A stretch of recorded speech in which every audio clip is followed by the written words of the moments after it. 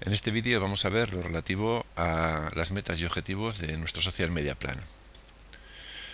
Venimos de la fase de, observación, es la primera fase que nos habíamos planteado, y aquí hemos eh, conseguido información acerca de, nuestra situación, acerca de, de la situación de otros centros que hemos tomado como referencia, y hemos visto cuáles son más o menos nuestros puntos fuertes, nuestros puntos débiles, hemos visto también qué es lo que nos gusta de lo que hacen los otros y hemos visto también qué es lo que no nos gusta. Entonces con esto lo que tenemos es una línea base que nos permite, pues bueno, mm, es una especie de fotografía que nos indica dónde estamos en este momento y a partir de aquí es donde tenemos que empezar a construir para ver a dónde queremos llegar. Entonces es el momento de, comenzar con la definición del plan. Y la definición del plan, como, teníamos previsto, consta de, dos partes. Eh, la primera sería establecer los objetivos y la segunda sería establecer los protocolos. Todo esto estaría dentro de esta fase en la que estamos ahora.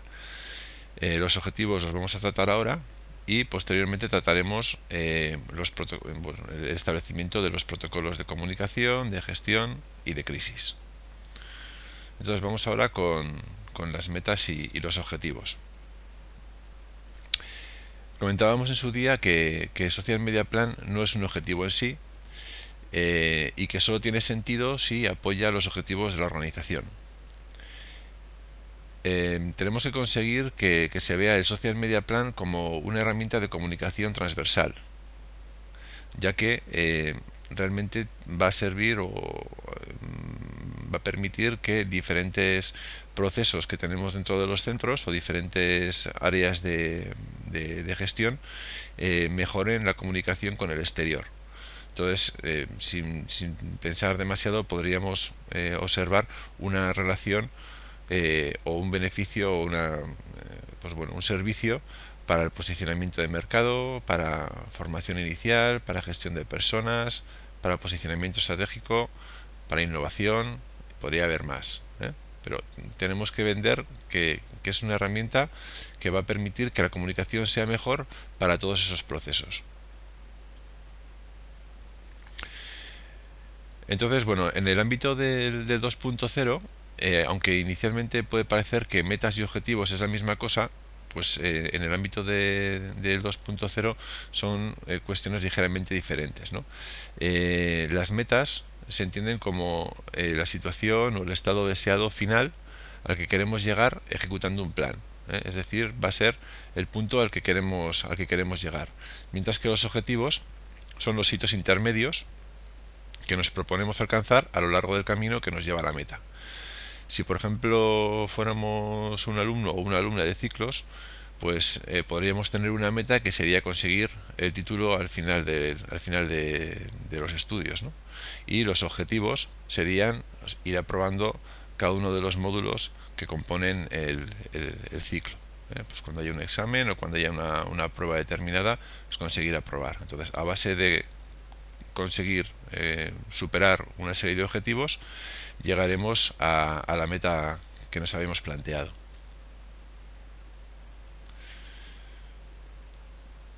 Em, para decidir eh, cuál es nuestra meta, evidentemente podemos eh, pensar en podemos pensar en, los resultados de, de, la fase anterior, ¿no? ¿Dónde estamos y a dónde queremos llegar? También puede ayudar pensar en, en, esta, en esta cuestión que tenemos aquí. ¿Para qué estamos en social media? Bueno, pues en general mm, respuestas habituales serían estas. Pues estamos en social media para mejorar nuestra visibilidad, para crear relaciones con personas, para captar, para captar eh, alumnado, para ser referencia en un área determinada o en un tipo de estudios determinado. Bueno, pues cada, cada respuesta que damos a un para qué de estos eh, nos está de alguna manera dibujando una meta y objetivos. Entonces, si juntamos todas las metas y todos los objetivos, tenemos la estrategia. eh, al final con la estrategia lo que sabemos es a dónde vamos y cómo queremos llegar. O sea que sí que está eh, vinculado la idea de, estrategia con, lo que estamos haciendo y con lo que estamos consiguiendo. Y una vez más, recordar que esa, esa estrategia tiene sentido si está alineada con la estrategia de la organización. Tenemos que mirar qué es lo que le interesa al centro y en base a eso intentar aportar desde, desde social media eh, con, todo lo que hagamos. Vale, eh, un ejemplo de qué no sería una meta.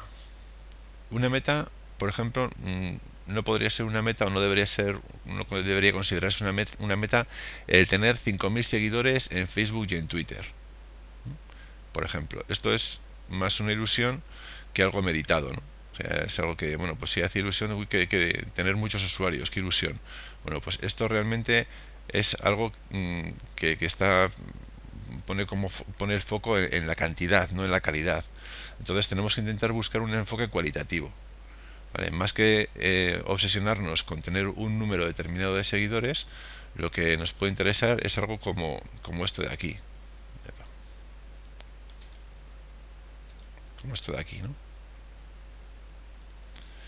aumentar el número de seguidores de la zona de influencia, de nuestra zona de actuación, que estén interesados en lo que hago, o que estén interesados o que quieran interactuar con nosotros, o que nos quieran recomendar, o que divulguen lo que hago. O sea, no solo es aumentar el número de seguidores, sino que sea el número de seguidores que nos interesan. ¿eh? No, no, tiene ningún sentido que tengamos 5.000 seguidores y que sean pues eh, pues gente de, pues de otro país o gente que a lo mejor pues se ha hecho seguidor nuestro porque tenemos una campaña en la que estamos regalando pues un iPad sin filtrar a quién se lo vamos a regalar eso no tendría sentido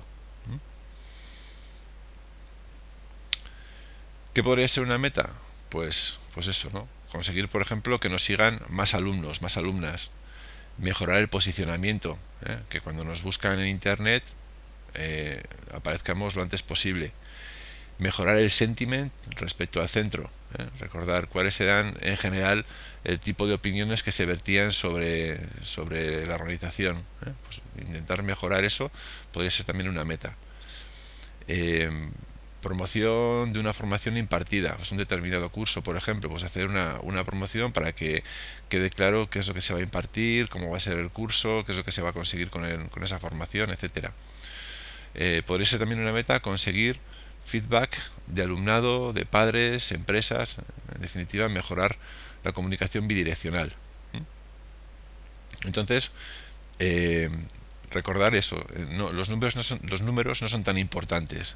No es importante tener un número elevado de seguidores en, en Facebook o en Twitter. Lo importante es qué hacemos para que los números se mantengan o crezcan y siempre desde un punto de vista de calidad. Nos interesa tratar con la gente que nos interesa tratar, no nos interesa tener un número cualquiera de, seguidores, ya que como sabéis eh, hay técnicas o bueno, es incluso posible comprar eh, lotes de, seguidores para tener números mayores, ¿no? entonces eso no va a ningún lado. Y eh, reiterar la importancia de, que de que hay que tener bueno pues claros las metas y los objetivos y que tiene que estar alineado con lo que se hace en la organización ya que si está alineado pues bueno el tema de los apoyos será más fácil de conseguir.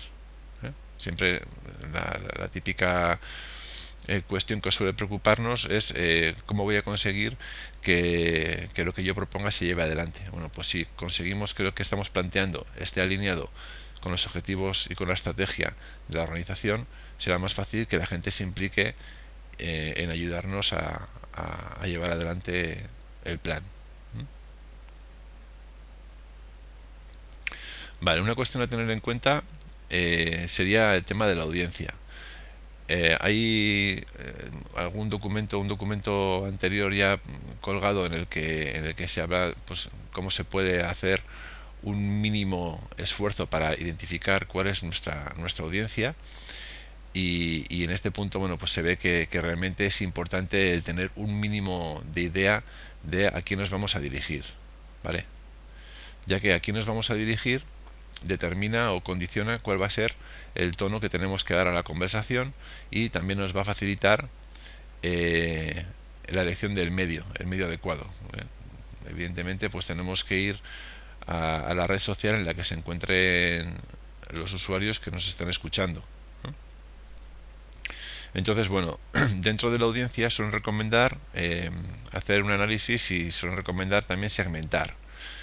Eh, el tema de la segmentación pues también es un poco tedioso porque es como siempre hay que empezar a pensar en quién es la audiencia, hay que empezar a pensar en cuáles son sus intereses, edades, eh, eh, pues, estatus social, hay un montón de un montón de, cuestiones que, que, pueden ayudarnos a hacer grupos dentro de, de la audiencia, ¿no?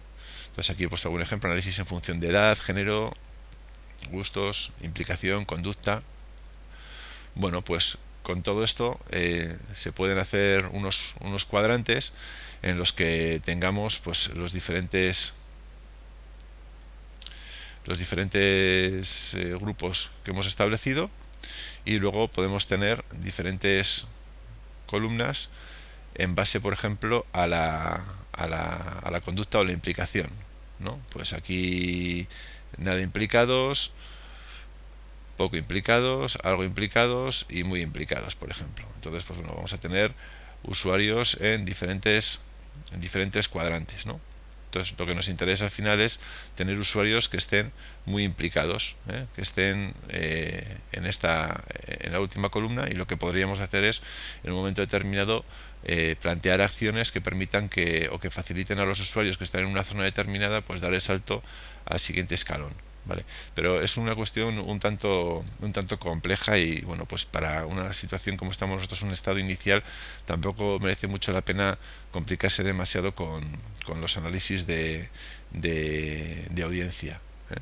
con la segmentación, ya que es algo que, bueno, pues eh, a medida que vayamos haciendo ciclos en todo esto que estamos trabajando, ¿eh? a medida que vayamos avanzando, pues sí que nos tendremos que eh, plantear eh, la segmentación y, bueno pues trabajar de una manera entre comillas más profesional ¿no? de momento eh, simplemente tener un poco una idea de, de cuál es a la audiencia a la que nos queremos dirigir vale lo dicho la audiencia va a determinar o nos va a condicionar cuál es el medio que tenemos que utilizar entonces aquí dentro del medio pues tenemos varios tipos de redes sociales. Tenemos aquí una, las redes típicas, Facebook, Twitter, Google Plus, 20. Eh, estas serían eh, redes generalistas. Y, bueno, pues al final a lo mejor estamos muy empeñados en hacer cosas en, Facebook y en Twitter cuando realmente nuestros usuarios están en 20. Entonces es una cosa que hay que valorar. Eh, dónde tenemos que hacer las campañas. Eh, luego, eh, eh, estas, las redes al final también son diferentes porque en función de cuál utilicemos es más fácil conseguir mejor posicionamiento. Por ejemplo, en Facebook los contenidos no son indexados en, en, Google. O sea, Google no indexa los contenidos de Facebook, es decir, se supone que, que, bueno pues que lo que lo que hay en Facebook se queda en Facebook siempre y cuando pues no vendan luego la información y la saquen hacia afuera, pero eso no lo podríamos aprovechar. O sea, eh, lo que hay en Facebook eh, no aparece en los buscadores, ¿vale? Sin embargo, Twitter, por ejemplo, sí que indexa. Y, y, Google Plus, pues mucho más, porque es del propio Google. Entonces, lo que se haga en Twitter y lo que se haga en Google Plus nos puede ayudar más a que aparezcamos en las primeras posiciones en las búsquedas que lo que hagamos en Facebook, por ejemplo. Y luego, pues bueno, 20 eh, por, por, estadística, eh, bueno, tampoco, tampoco suelen aparecer eh, resultados indexados. cuidan bastante el tema de la privacidad porque normalmente está dirigido a un sector de la población que, que es más joven, pues está dirigido a, adolescentes, ¿no? pues gente a partir de los 14 años, y entonces el tema de la privacidad eh, se tiene muy en cuenta. ¿no? Entonces, eh, pues bueno, es un, es un sitio interesante, una red interesante en la que tendremos que, empezar a movernos para llegar a, alumnados pues, de ciclos de grado medio y de grado superior, que pues muchos van a estar ahí, pero a la hora de, del indexado y a la hora de, del posicionamiento, pues igual no es tan, no es tan claro que sea, que sea beneficioso, ¿no? Y luego, pues bueno, hay otras, otras redes que, que son ya temáticas, por ejemplo, todo lo que sea Flickr, Instagram, Pinterest, pues tiene que ver con imagen. Eh, YouTube y Vimeo tienen que ver con vídeo, evidentemente. Y LinkedIn y Shin serían redes pues profesionales. Por ejemplo, diferencia entre YouTube y Vimeo, pues eh, que YouTube es de Google y por lo tanto indexa también mucho mejor que Vimeo. Es decir, que lo que hagamos en YouTube va a tener más visibilidad que lo que hagamos en Vimeo, por ejemplo. ¿vale? Y luego entre Flickr, Instagram y Pinterest, pues eh, bueno, pues tener en cuenta que por ejemplo Pinterest eh, es una, una red que tradicionalmente bueno pues tiene, tiene fama de, de ser un sitio muy propenso a que, a que estén aquella eh, mujeres, ¿no? O sea, el sexo femenino parece que se decanta por este tipo de, por ese tipo de red. Esas son cuestiones generales que se suelen decir, pero realmente nosotros también tenemos que ver si, si la gente con la que trabajamos eh, pues tienen este tipo de este tipo de redes, ¿no? Se mueven ese tipo de redes. YouTube, por ejemplo, sí que es algo a, algo a, potenciar porque es claro que, que trabajan en, en, YouTube y que bueno pues que tienen cierta tendencia a ver vídeos y, bueno pues es un canal a, investigar ¿no? y luego LinkedIn por ejemplo pues si nos quisiéramos eh, si quisiéramos acercarnos a las empresas pues también sería la, opción más probablemente la más eh, la más idónea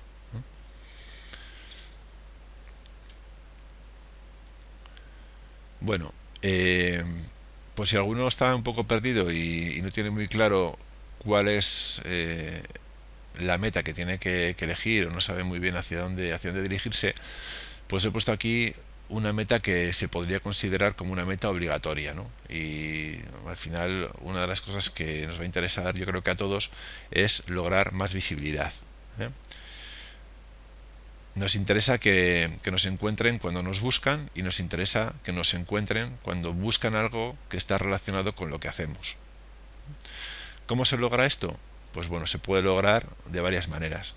Se puede lograr pagando AdWords, que serían los anuncios breves que aparecen en, los resultados de, Google. Se podría lograr con SEO, que también tendría seguramente un coste, ¿eh? porque bueno, hay cosas que se pueden hacer de SEO, de posicionamiento. al final SEO ya sabéis que eh, es aprovechar el conocimiento de los algoritmos de búsqueda de los buscadores para adaptar lo que ofrecemos de manera que sea más fácilmente encontrable. ¿eh?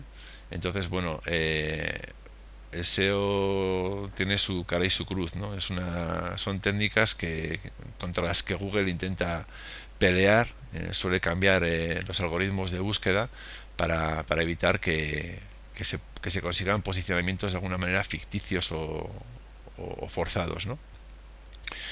Luego la manera, la forma orgánica de conseguir mejorar el posicionamiento sería plantear una estrategia global.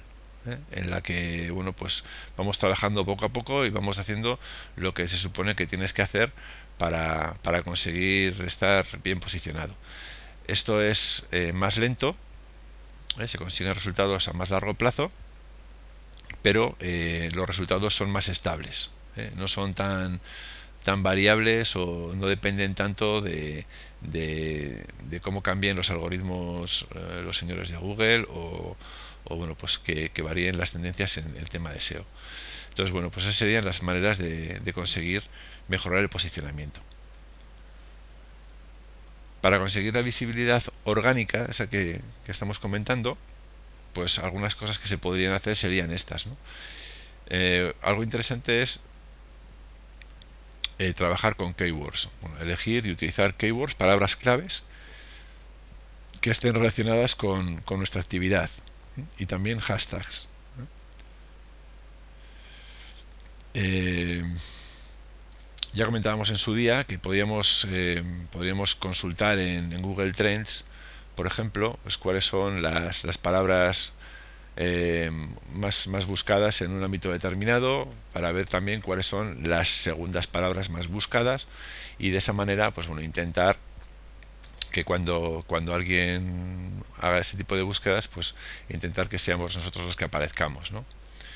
Eh, entonces bueno al final esto se consigue eh, también bueno pues eso utilizando las keywords las palabras esas reservadas en, pues en, los títulos de los posts que se que se, que se publican en los blogs, por ejemplo, o, en las etiquetas que se, que se ponen también eh, asociadas a los, a los posts. Eh, haciendo también difusión de contenidos en todas las plataformas, es decir, es hacer una especie de, de malla, ¿no? de manera que cuando publico algo en un blog, pues eh, en la web puede tener también reflejo y puede tener también reflejo en las redes sociales. ¿no? De esa manera lo que conseguimos al final es aumentar el tráfico que se dirige hacia lo que estamos ofreciendo. ¿Vale? Y al final eh, todo eso se debe traducir en cuidar a la audiencia, en atraer audiencia y mantener audiencia. Tenemos que intentar aportar eh, valor con contenido que sea útil, que sea fresco y que sea, en la medida de lo posible, pues novedoso. ¿eh? Esa es una manera de atraer, de atraer audiencia y también de, conseguir que, la gente venga. ¿no? O sea, tú puedes crear un, un, hacer muy bien todo esto de aquí, pero si al final lo que estás ofreciendo, si le consigues eh, enredar a la gente para que venga a visitarte y al final lo que ofreces no tiene valor, pues la segunda vez que les intentes engañar no van a venir. ¿vale? Entonces hay que intentar eso, que el contenido aporte valor. Eh, hay unos ejemplos de, de, que se pueden considerar buenos contenidos. Está sacado de, un blog de Jeff Bulas y serían pues bueno estos puntos que tenéis aquí. En, este enlace están los ese enlace están las explicaciones de cada uno de los puntos, ¿no?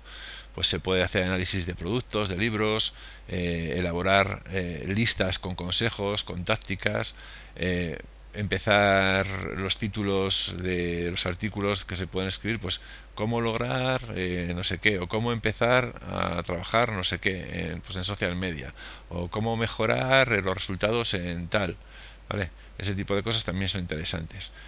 Pueden ser interesantes entrevistas con expertos, estudios de casos, y historias de qué no hacer, ¿no?